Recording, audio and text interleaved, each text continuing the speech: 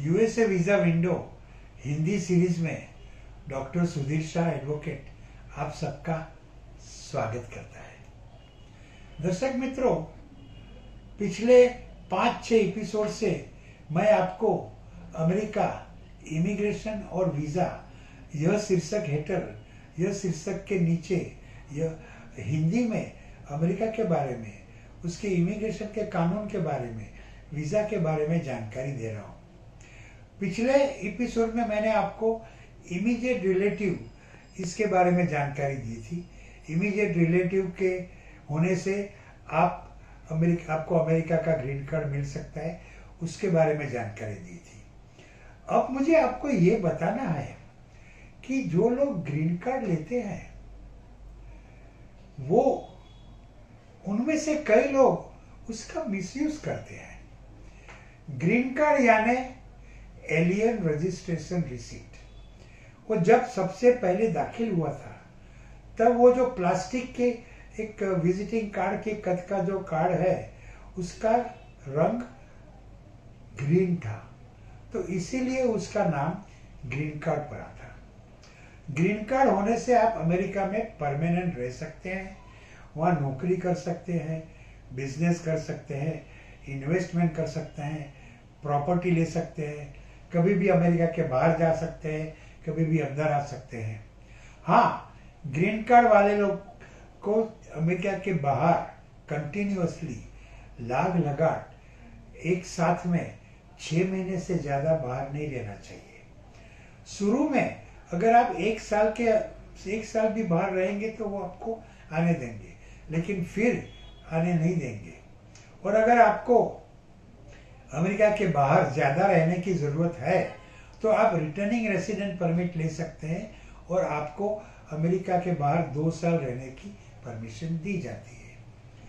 अब कई लोग जो अमेरिका में परमानेंट रहना नहीं चाहते, लेकिन उनके बच्चे वहाँ आए उनके रिश्तेदार वहाँ आए उनके फ्रेंड्स वहाँ आए तो ये कारण सर वो लोग ग्रीन कार्ड लेते हैं। और फिर वहाँ छः महीने में एक दफ़े चार पंद्रह दिन आके रहते हैं और वापस चले जाते हैं। ग्रीन कार्ड का इस्तेमाल वो लोग एक रेलवे के पास की तरफ़ अमेरिका आने जाने के लिए करते हैं। यह बात बुरी है, क्योंकि अमेरिका हर साल एक फिक्स्ड संख्या में, नियत करेली नियत की हुई संख्या में ग्रीन कार्ड देता है। और दुनिया के कई लोग ग्रीन कार्ड लेने के लिए अर्जी करते हैं तो वो सब लाइन में खड़े होते हैं। अगर आपको अमेरिका में परमानेंट नहीं रहना है और फिर भी आप ग्रीन कार्ड लेते हैं तो आप दूसरों का, आपके पीछे वाले जो है, उनका हक छीन लेते हैं और उनको लाइन में ज़्यादा देर खड़े रहने की कंपलसरी फ़र्ज़ पड़ते हैं। तो आप अगर अमेरिका में परमानेंट रहना नहीं चाहते तो ग्रीन कार्ड मत लीजिए। B one B two visa दस दस साल का मल्टी एंट्री लीजिए ना। एक भाई, जिन्होंने पाँच साल पहले ग्रीन कार्ड लिया था, वो पाँच साल के बाद ग्रीन कार्ड के ऊपर अमेरिका में एंटर होना चाहते थे। इमिग्रेशन ऑफिसर ने उनका रिकॉर्ड देखा और उनको लगा कि ये ये आदमी अमेरिका में परमानेंट रहना नहीं चाहता है। उन्होंने उससे सवाल किए कि, भाई साहब, आपको ग्रीन कार्ड मिले कितना साल हुआ? उसने कहा कि मुझे, मैंने पाँच साल पहले मुझे ग्रीन कार्ड मिला था। अच्छा तो फिर आप अमेरिका में कितना साल रहे? हैं अच्छा आप ग्रीन कार्ड लिया तो फिर अमेरिका में आए और कितने समय रहे? तो बोला, जब मुझे ग्रीन कार्ड मिला इमिग्रेंट वीज़ा मिला तो वो लेके मैं अमेरिका आया और फिर मुझे ग्रीन कार्ड मिला और मैं दो तीन महीने वहाँ रहा और फिर इंडिया आ गया। तो वापस कब गए? एक साल के बाद, ओ हो हो और फिर तो वहाँ आप परमानेंट रहे होंगे। नहीं नहीं, मैं वापस एक साल के बाद गया, लेकिन तीन महीने रहा, और फिर मैंने रिटर्निंग रेसिडेंट परमिट मिली, और इंडिया आ गया, और दो साल इंडिया में रहा।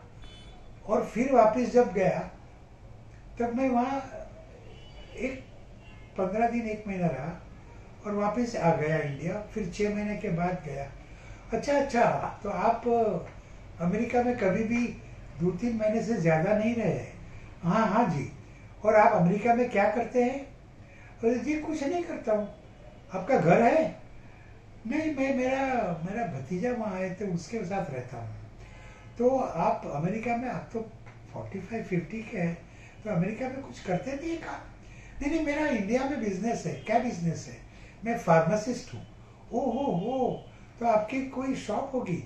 हाँ हाँ मेरी दो शॉप है। एक तो मैंने अभी ली है, सूरत में। अच्छा अच्छा। और आपकी अमेरिका में कारोबार है। नहीं नहीं नहीं, इंडिया में। हाँ मेरी सूरत में दो गाड़ी है। एक एम जी भाई अभी ली है और एक ओपेल है। ओ, आपका अमेरिका में घर नहीं है। आप अमेरिका में कुछ करते नहीं है। आपकी अमेरिका में कार नहीं है। आप अमेरिका आके दो तीन महीने ही रहते हैं और फिर वापस इंडिया चले जाते हैं। पिछले पाँच साल में आप अमेरिका में एक साल भी नहीं ठहरे हैं। तो आपका इरादा अमेरिका में कायम रहने का मुझे नहीं लगता है। मैं आपका ग्रीन कार्ड वापस ले लेता हूँ। तो दर्शक मित्रों, अगर आप भी अमेरिका में कायम लेना नहीं चाहते, अगर आप अमेरिका के ग्रीन कार्ड का रेलवे पास की तरह इस्तेमाल करते हैं आने जाने के लिए तो ऐसा मत कीजिए। ग्रीन कार्ड मत लीजिए, या अगर आपके पास है तो वो सरेंडर कर दीजिए। और 10 साल का B one, B two visa ले लीजिए। और एक दूसरी बात, अगर आप ग्रीन कार्ड वाले हैं तो आपकी इनकम कहीं भी हो, वर्ल्ड में कहीं भी हो, आपको टैक्स अमेरिका में ही भरना पड़ेगा। भरना चाहिए। कई लोग ये नहीं करते हैं। तो ये सब गलत है। तो आप अगर अमेरिका में परमानेंट रहना नहीं चाहते तो दूसरों का हक मत छीनो।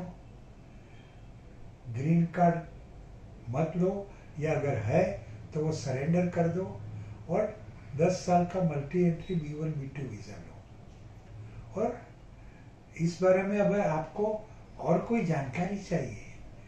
कुछ आपको पजल करता है, आपको समझ में नहीं आता है। तो टेंशन मत लो, मैं हूँ ना। मेरे पास आओ। मेरा मोबाइल नंबर है nine eight two zero four one nine four six nine और मेरा ईमेल एड्रेस है Sudhir Shah nineteen forty at the rate G mail dot com S U D H I R S H A H one nine four zero at the rate G mail dot com और यही जानकारी, अगर आप या आपके दोस्त लोग गुजराती में पाना चाहते हैं। तो मैं हर हफ़्ते सूरत की एक चैनल खबर छेपे गुजराती में भी यही बात मैं देता हूँ। आप मुझे गुजराती में भी सुन सकते हैं और सब जानकारी गुजराती में पा सकते हैं। और मैं हर महीने पिछले पंद्रह साल से सूरत दो दिन कंसल्टेशन के लिए जाता हूँ और वहाँ स्टेशन के नज़दीक आई हुई the great western Yuvraj hotel में ठहरता हूँ। अगले महीने यानी दिसंबर 2021 में मैं सात, आठ और नौ, ये तीन दिन सूरत में हूँ। अगर आपको मुझे कंसल्ट करना है तो आप मुझे वहाँ कंसल्ट कर सकते हैं। तब तक आप घर में रहिए, सुरक्षित रहिए सोशल डिस्टेंस मेंटेन करिए। नमस्ते।